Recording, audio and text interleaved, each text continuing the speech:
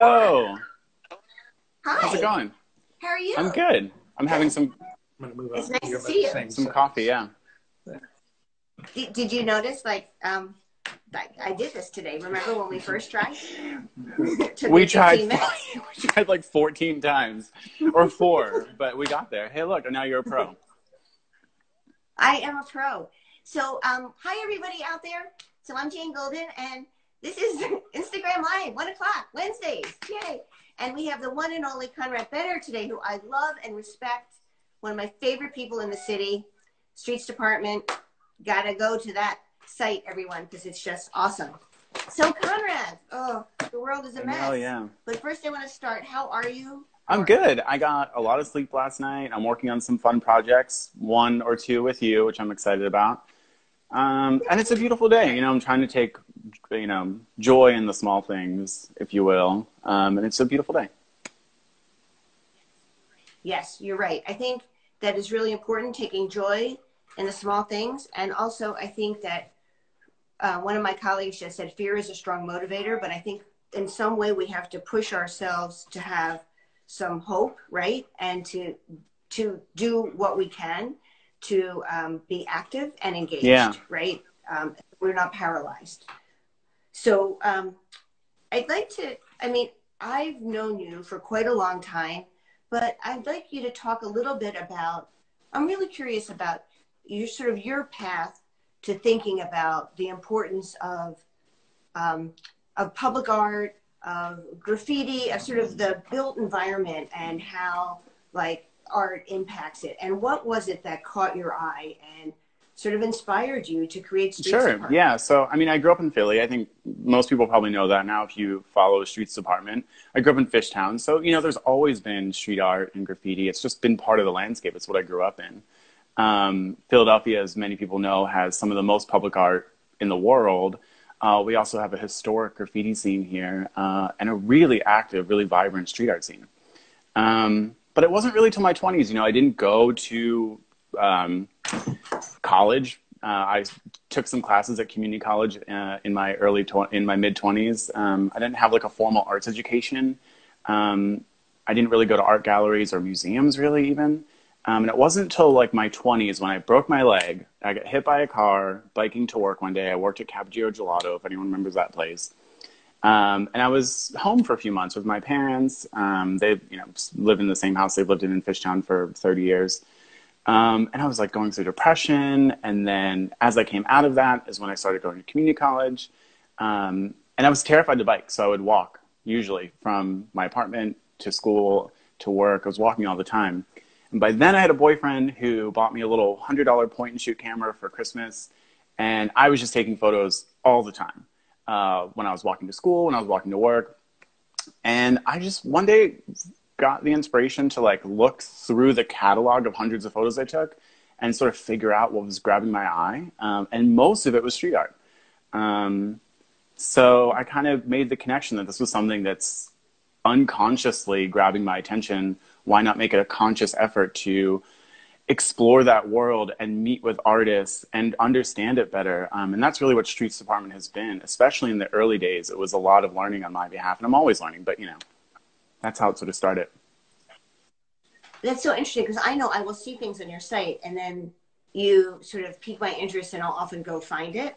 Um, so I want to thank you. So I think that you have built in people a stronger love and connection with the city. And I think that's wonderful. And so, and then, then another question would be, how have you seen, how has the art scene changed and evolved, the public art scene and graffiti, street art, since you first became engaged, like between now Sure. and then? Like, what's the evolution? Well, one big thing is the Instagram and social media. Um, but so when I started the blog, it was 2011. Um, and to be clear, I focus mostly on street art. So um, there is an incredible graffiti scene here in Philadelphia, um, and there are Instagram accounts who cover it. Um, but I, mo- I focus mostly on street art um, and muralism to an extent. Um, but yeah, with the street art world in particular, um, I think Instagram and the idea that you can create a piece that would live, as all street art pieces do, really uh, quickly on the street, you know, have a short lifespan on the street, Mm-hmm. but live indefinitely on the internet. Um, and I think I started the blog in 2011. One of the first installations I photographed that sort of went viral was uh, an installation by Ishknits, a yarn bomber here in the city of Philadelphia, who does incredible work. Um, and she yarn bombed a few seats on the L, and it was a statement on her behalf um, about access to art and how art can sort of travel through neighborhoods. The installation itself only lasted a few hours. SEPTA took it down pretty quickly. But the photos from it and the stories from it ended up in Juxtapose magazine and uh, Vice and Newsweek and all these big sources. When Instagram came around and everyone had access to sort of social media to promote street art, is when it really blew up. And uh, you started to see artists like uh, Kid Hazo create sort of viral, funny installations that whose whole purpose was to make people smile. I mean, that's literally his artist statement. Uh, and you know, have the artwork tr- uh, translate and transport mostly through social media rather than seeing it in person, because a lot of his installations are super temporary as well. Um, so I think I've seen a lot of artists take more risks over the years um, as they've seen that you know they can take these big risks and more people will see it, so they get a kind of a bigger reward um, as opposed to maybe a few years ago. But yeah, um, and then I think the obvious thing too is over the last few years, there's been a ton more political street artwork, um, a ton of people using street art the same way advertisers use the public space, using art to promote something. And you can use art in the public space to promote Dove soap, or you can use art in the public space to promote voting or Medicare for all or taxing the rich, you know? Um, and that's what I like to see. Yeah, that's me too. And I think what's really interesting is that, you know, when I started out, like, you know, working for the Anti Graffiti Network, there was such a divide between graffiti and street art was sort of evolving, right? So you had you had graffiti, murals that were in sort of their own category, and then you had public art, and people would like really look down on murals and really look down on graffiti. Hmm. And now I would like your opinion. So if you look at graffiti, street art, muralism, public art, like I think the lines are blurrier, and I well there is definite there are definitely differences, but sometimes not. I mean we've straddled all those worlds sort of, which I think is a really good thing, and I think we should continue to push that. But um, I'm just curious. I, I think the the field as public art making is better because of that, like learning and engaging with each other, and not so much like that's right, that's wrong, this is good, this is good art, this is bad art. Like I, all that judgment was like ah.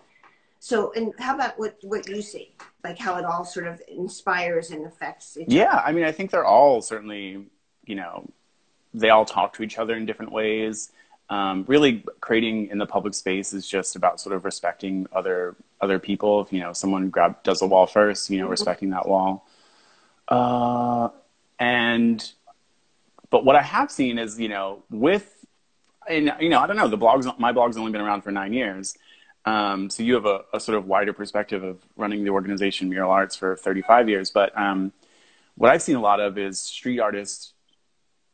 You know, I'll have a lot of conversations with street artists who maybe they went to art school or maybe they didn't, but they tried to get the attention of gallery owners. They tried to get the attention of curators. Maybe they even applied to Mural Arts, um, and sort of no doors were opening for them. But they would still want to create art in the public space, and they'd talk with other street artists, talk, maybe invite me to coffee, and learn how to create in the public space that's you know um, respecting sort of the street art world that's out there, um, but also opens the door for their their artwork. And you see people like Hysterical Men or Symone Salib um, create street art campaigns that go sort of viral, get a lot of attention, and then all of a sudden they're having galleries open their doors to them, and they're having folks like you at mural organizations invite them in. Um, so yeah, I think that's one big way that this sort of ecosystem works really well. Is um, artists can sort of test, you know, street uh, test their work in street art, and you and bigger organizations, curators can uh, look at street art as a as a way to see if you know something's grabbing people's eyes or Yeah. if an artist is you know blown up or something. No, I agree with you, but I think where you've inspired us, which I think is super important, is to have like smaller commissions and be facile. Like I've always thought Mural Arts is a pretty facile organization. Yeah. Like I don't want to be like a big department. We can't like move, move, move, um, and be really open to ideas. Like lately, I've been getting a lot. The past few days, even lots of proposals from artists, like just with ideas, which is good. People should continue doing that. But I think um, like to the polls that Yeah. we do. Uh, we've done, we did a great, like, um, we worked with graffiti artists down at 8th and Cumberland. We, um, you know, I just think that that ability, like risk capital almost, like you are always like, the door should be open to different ways of working and new artists all the Yeah. time. And I think that's sort of more the way of the future for mural arts, to be honest with you. I mean, we'll always do like the big traditional large murals, but you know, let's face it, the world has now turned around several times and money is limited, right? So how do we stretch whatever we have to be inclusive? You, well, I want to answer this question too by Coco. It says she or they are asking what's been my one of my favorite street art installations that's temporary. I have a ton. Kid Hazo did poop emojis on PAFA. It was uh, the. You should have Hazo on at some point. Um, and it turns those sort of paint drop, paint julep um, that's under the Claes Oldenburg paint, um, ugh, I don't know, paintbrush thing on, on North Broad Street into a poop emoji. That was really cool. And PAFA loved it. I love when these sort of big organizations can sort of respect the work of street artists. Another one that I really love is Ishknits in 2012 uh, yarn bombed a bikini, a pink bikini or pink underwear on the Frank Rizzo statue um, as a statement to effectively questioning if that monument should be there, um, if we should have conversations about it. And the, um, the interesting thing about that is actually the security guards, because that's a uh, that's public land. Uh, security guards were in the background the whole time she was installing. Uh, they let her install. They let us take photos. Even they were in conversation with us almost the whole time. Um, and then as soon as we were done, they're like, "You done? We're going to snip it off." And we were like, "Yeah, sure, thanks." Uh, and but those photos have lasted forever. I mean, to this day, the Inquirer will use photos of that installation when talking about if that uh, statue should still be there. Um, so those are, you know, those are the ones that come quick to my mind. Yeah. And Kid Hazo did a project with our art ed uh, department, which was fun. And then Symone Salib is doing great work with art ed and, and with our stuff we're doing with the public health department. So thank you for re- recommending Yeah. people to us. It's great. So, and I think, and talking about, um, want to talk about the times we're in about now and what role you think art can play, you know, as it relates to this crisis Yeah, I mean, and how to hold it.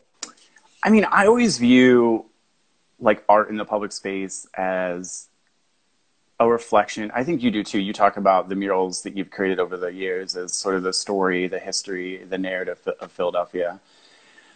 and I think you take the longer view because your murals will last for a long time. And I think because my focus is more on the ephemeral street art, I have more of a, you know, I like when street art can sort of react to the moment and reflect my like current emotions, my current feelings.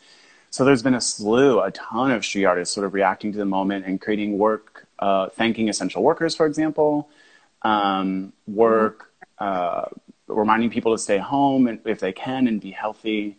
Um, and work questioning things like why don't we have enough PPE for healthcare workers? Uh, Jess Paints did a, a piece near Jefferson Hospital. Uh, it's a, a stencil illustration of a nurse wearing a trash bag uh, or a doctor or nurse wearing a trash bag as a protective gear. Um, and you know when you see it, you're like, oh, that's kind of a, an interesting image. That's maybe silly. And then you think about it harder, and you're like, wow, yeah, right. They don't. They're still fighting for this crucial equipment.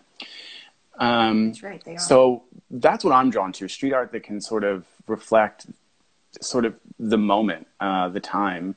You know, and it's one of the reasons why I fight so hard against advertising in the public space. Um, I did a, I've done a few different projects protesting things like advertising on the trash cans that we have around the city.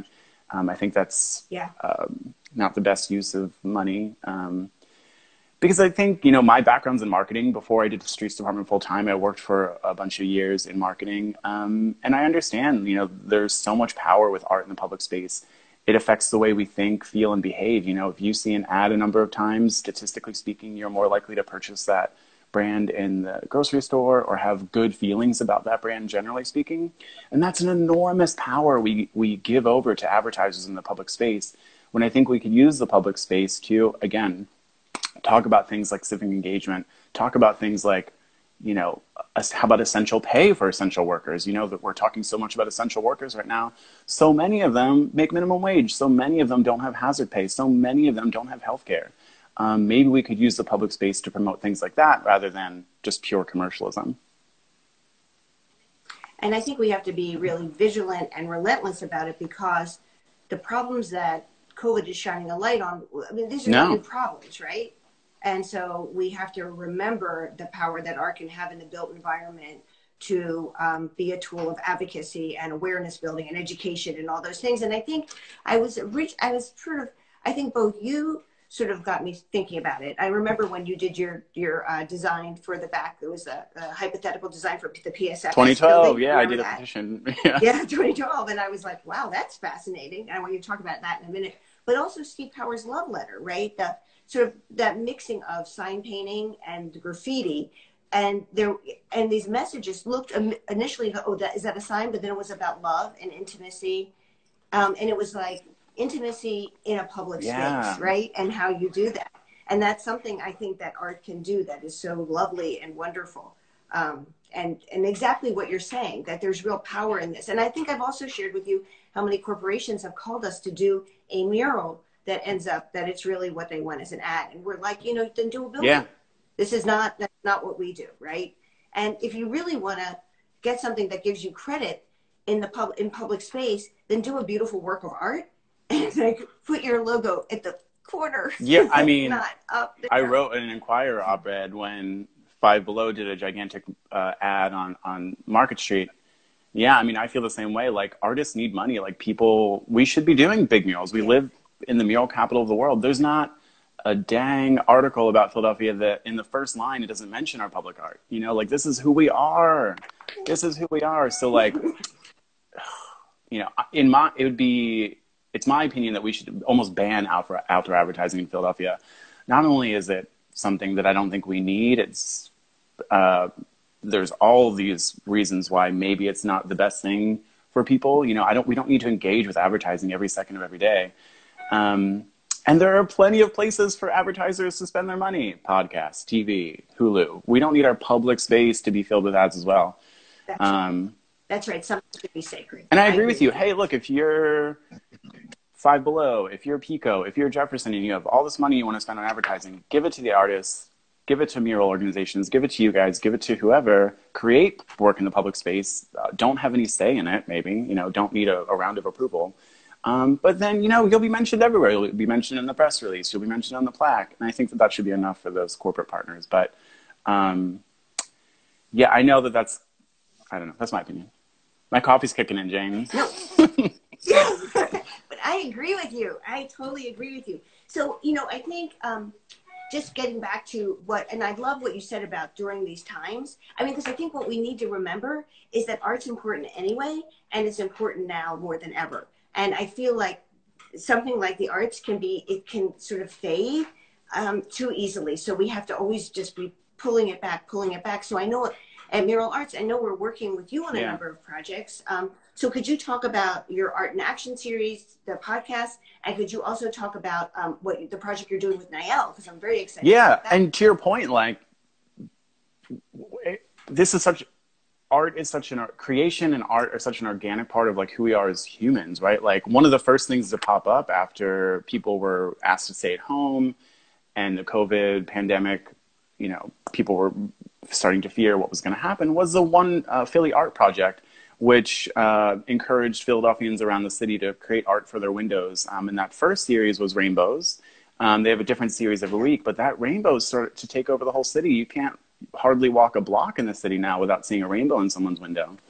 Um, so it just it proves your point is what I'm saying that like this is so innate in us that that we want to see we want our public spaces to reflect uh, us and the moment and our values and art can really do that um, and really smart curators and mural organizations can can do that well we're yeah as you mentioned we're working on a few things what i'm doing right now is my podcast is still going on i'm having conversations Yay. with um, different folks from around the city and around the country. Our last guest was Robert Perry from Tattooed Mom, so I know you know. He's a big supporter of art in the public space, a huge supporter of the street art scene, and just an incredible person. Um, we talked about in the podcast um, his struggles as a small business owner. Um, as of you know last week, he had no support from the city, state, or federal level um, going on six weeks uh, of no support after his business had to shift, uh, close down, except for takeout service. So we talk about that. But we also just talk about the history of moms, uh, the history of South Street, and him growing up in Hawaii. So check that out if you've never seen my podcast, Streets Dept Podcast. Um, and then we, are we saying this, are working on a podcast together.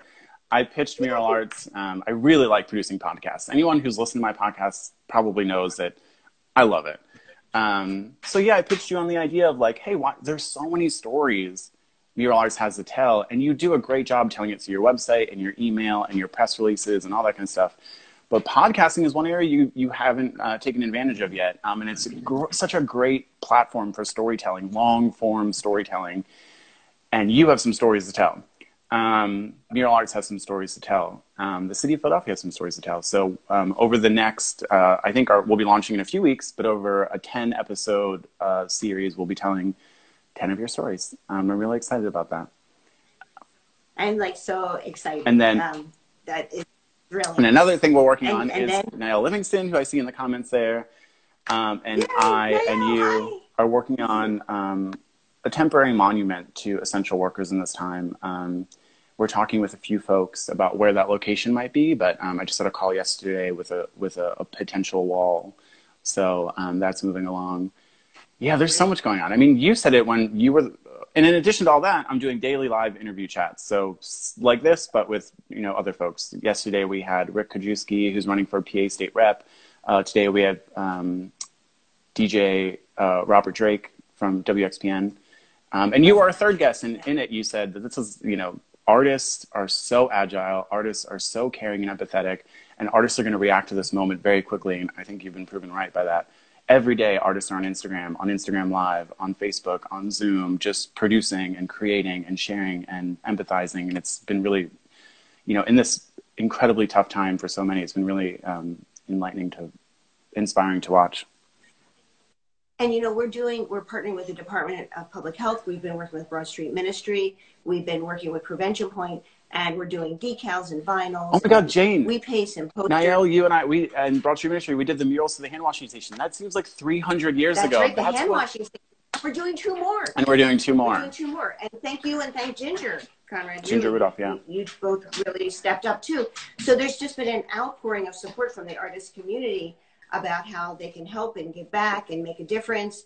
And, you know, I think it's really important that people have access to public health messages that are accurate, that are trustworthy, and that are translated into many languages. And that's what we're doing right now all over the city. And we're about to embark on a project with the Center City District to do something beautiful on the boarded up, on the places that are boarded up, the shops. So, I mean, we, we want and we deserve and we need beauty in our environment. And I'm always just thankful, Conrad, that you have a, a relentlessness to you about how to get, you know, both produce work and support the work that's going on everywhere. I, I just think that is incredibly important. And the other thing, oh, I don't know if you know this, but but the women who are affiliated with Southeast by Southeast are making masks, beautiful masks. And the woman who's running the that sort of the, the cohort making masks was on Project Runway, so they're actually quite Oh, whoa. lovely masks as well. And I think I'll so we're trying to figure out ways to be useful and valuable, and um, I just think that's And another series you're hosting is oh, I'm forgetting the title of it, but it's going to be like a Zoom uh, interview thing. But I'm hosting one on June is uh, in early June with uh, Shira Walinsky, Southeast by Southeast, and a few of the artists who are participating. It's another thing we should shout out. But you'll, I'm, you know, if you're following either of us, you'll hear more about that. Yeah, where it's part of our Art in Action, yeah. series, and that is where we have really interesting speakers. We're going to have a really interesting um, group talking about our re- reimagining reentry program, uh, where we have a fellowship program for artists who've been incarcerated, and um, then we have a reentry program called the Guild. So that'll be interesting, and we're going to be talking about how do how do you do community work and and with what's going on right now, and then your your um, conversation will be really interesting we're trying to pick issues that are really relevant and have interesting conversations with different constituents that um, our lives touch. So, um, how do we sort of, I don't know. I think for us, it's like, how do we just be value added and helpful in any way? Um, and and so, in speaking about like, I think when I think about the future of the city, Conrad, I think I think about you and a lot of uh, younger artists out there who I just give me a sense of hopefulness about Philadelphia. So I'm really interested in sort of what you would, if you were in conversation with, um, with when you're in conversation with politicians or policymakers, like what what's your vision and what would you like to see the city doing more of? Like what can we, when we think of the next two years, three years, six years, ten years, like what's your some of your like your vision? Wow, that's a big city? question. But yeah, I think Yeah. Uh, you know, my politics is that I feel like this the whole system is lopsided for the very few at the top, um, and that generally speaking, we need kind of fundamental shifts in how we um, redistribute sort of uh, those resources. Because ultimately, even the few at the top can't prosper if the working class, you know, poor folks, um, people in neighborhoods across the country can't sustain themselves. So, I, you know, I'm always when I have politicians on asking about healthcare, and healthcare should be a human right. Uh, we live in a country that has plenty of resources, and I think could easily fund um, a, a single payer system the way that every other country, for the most part, does. Um, and you know, I think uh, paid. I think what you mentioned earlier about COVID sort of opening up, uh, putting a magnifying glasses on a lot of these issues is so true. You know, hazard pay should be uh, what everyone who's working right now uh, out in the world should be receiving. We need to raise the minimum wage. Um, and yeah, I do often ask, you know, there about public space. You know, how do you value the public space because it is ours collectively, uh, and it's been sold. Parts of it have been sold off or rented. Um, we have a lot of public parks in the city now that are rented to um, private organizations that run them. And that was a deal that we struck in the 90s when Philadelphia was um, pretty cash poor and it looked like a good idea. And it has worked to an extent, but what are the long term consequences of doing that? Um, I petitioned against building a Starbucks in Dilworth Park uh, last year, and that was in large part because I saw it as a sign of like what they could do. If you know, yes, the Starbucks was small. Yes, there are bigger things to fight about and to worry about in the city, but you know, if that Starbucks is seen as successful by the by the people who are renting it to Starbucks, maybe they chop up more of our public parks and you know public space is one of the few things that we have collectively that's that's all of ours and um, i just hate to see it chipped away at like that. Um, but so yeah i'm kind of on a tangent now but i think the my politics are generally we need to redistribute some stuff because we have it. We have the wealth and the access and the and the money and the things to redistribute. It's just all at the top. It's all just pulled at the top. Um, and it's not fair. Um, it's not gonna not good for anyone. Fair. That's right.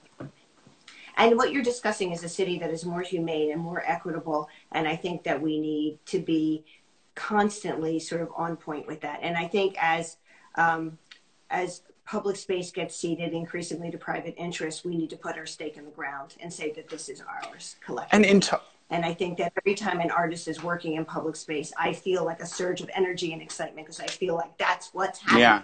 And in talking with like local politicians, like at the city level, there's only so much they can do really. So it's about like energizing people to, you know, so many of the projects I've worked on since 2013, 2014 have been around voting because I believe in the power of the democratic system. And if we just get the right people in the right positions in power, we can make big change. And I think we've seen that with people like Larry Krasner, who you're working with this year with your restorative justice program. Yes. Um, you know, one position that's one elected official, the DA, um, who can make big changes. Now look at the state reps. Who's your state rep? Who's your city council person?